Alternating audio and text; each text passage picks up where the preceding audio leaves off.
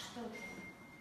Ну, Что это такое, я не понимаю? Что это за коллекция, Саша? Что ты нарисовал вот это? Вот что это? Это что? Где секс? Где